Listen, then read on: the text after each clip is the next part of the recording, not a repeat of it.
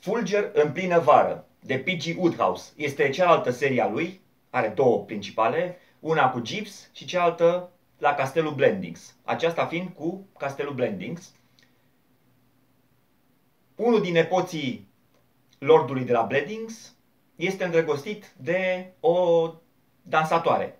Așa că are dificultăți în a prezenta o familie, este teamă că va fi respinsă și când se întâlnește cu mătușa lui de care tuturor în familie le este teamă, o prezintă ca fiind uh, o moștenitoare americancă plină de bani.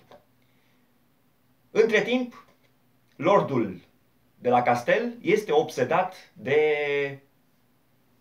purceaua lui, de scroafa lui, împărăteasa, care este dublă medaliată la concursurile pentru purcei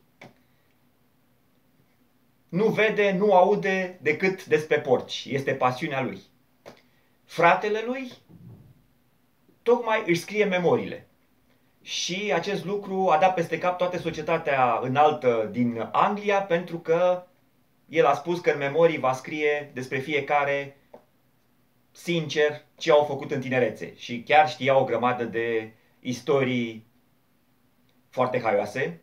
De exemplu, despre vecinul lor de castel, cum furase la un moment dat uh, proteza unui uh, important personaj cu zeci de ani în urmă și încerca să vândă dinții de aur la amanet al aceluia. Bineînțeles că toți lorzii erau în panică dacă vor apare respectivele uh, memorii și mai era în panică și sora lor, m-a spus mătușa Zgripsuroica, care se temea că nimeni nu mai va vorbi cu ei din momentul în care vor apărea memoriile. Ok,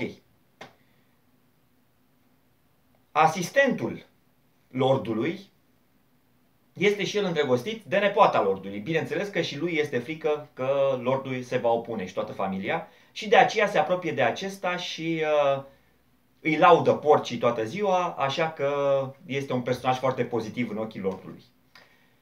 Nepotul lordului gândește el așa un plan cum ar putea să-l convingă pe unchisul, să-i dea și niște bani, să poată să căsătorească și o răpește pe împărăteasă, pe scroafă. O să vedeți, este o carte foarte haioasă, cu o grămadă de încurcături. Mătușa Zgripsuroaica cheamă un fost asistent al lordului să fure manuscrisul, lui Frasu, ca să, poată să, ca să nu mai fie publicat acesta. Porcul este furat ba de unii, ba de ceilalți, fiecare încercând să-l șantajeze sau să apară bine în fața lordului. Apare și un detectiv care este angajat și de lor să caute porcul, dar și de vecin să-i se fure manuscrisul fratelui lordului. V-am zăpăcit?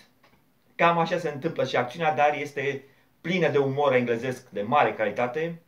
Se petrece în perioada interbelică. Unul dintre cei mai mari umoriști englezi, P.G. Woodhouse, foarte haioasă și uh, plină de peripeții. Dacă vă place, vă recomand nori grei deasupra castelului Blendings de P.G. Woodhouse.